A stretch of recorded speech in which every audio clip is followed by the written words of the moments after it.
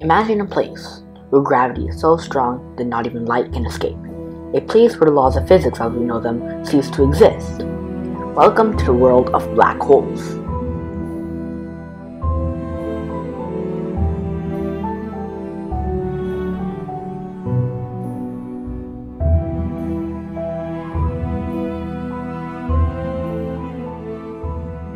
Phase 1 The dimming of stars. Nice throw, tame person. We observe the stars burning. What we don't see is their glow and flow. Inevitable death march, the stars shine by fusing hydrogen into helium in a process governed by a strong nuclear force. The equation is described as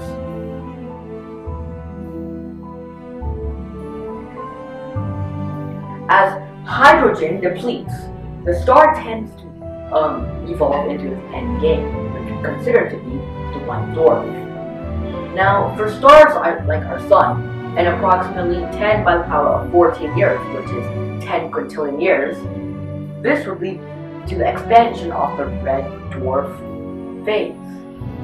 But this is just the beginning of the cosmic collapse.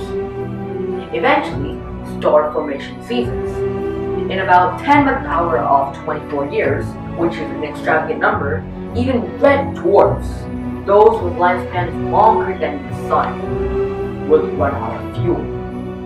What we're witnessing right now is the unraveling of the universe. The final star will run out and will descend into a cosmic expansion, leading the universe to end This era is called the degenerate era. Our universe now 100 trillion years old, has entered the degenerate era. Star formation has ceased, and the last red dwarfs, once the longest burning stars, have exhausted their nuclear fuel. What remains are the echoes of a once thriving cosmos white dwarfs, neutron stars, and black holes. With fusion extinct, only residual thermal radiation persists, dictated by the Stefan Boltzmann law, where T approaches absolute zero Quantum degeneracy, pressure governed by the Pauli exclusion principle, prevents total collapse. But these stellar corpses inevitably cool into black dwarfs, a process taking up till 10 by the power of 15 years. Yet, even these remainings are internal. Phase 2 The black hole era. Now, imagine this is a black hole, and this usually it's not an accurate representation, but of course we consider this as a model. And imagine in a three-dimensional space, three-dimensional surface space, we have a huge hole, which is the densest, the densest conception to ever exist in the universe. Now, let's just imagine this is a singularity, which is the bottom of a black hole. And this is the sun. Whatever around this radius, it always tends to have an escape velocity which is essentially for it to escape the black hole's gravitational force.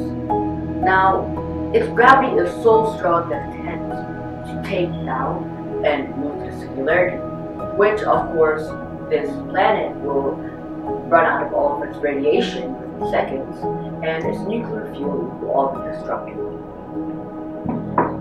Now, I'll be considering the black holes to be the Dark Lords of the cosmos, black holes.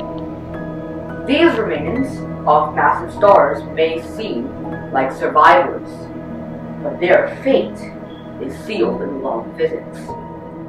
As the universe cools, gravity dominates. The process of Hawking radiation describes in how black holes lose their mass and eventually evaporate. The government, the formula governing this conception is